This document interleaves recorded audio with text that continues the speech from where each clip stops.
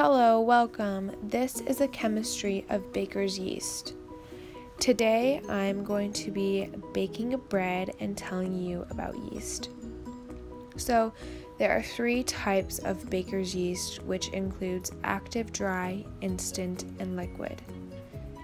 So, yeast is actually alive but needs warm water in order for it to become activated.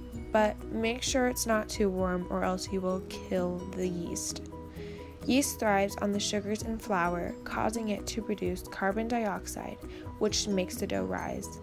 This also gives it distinctive flavors and the sponge like texture we all know and love when eating bread.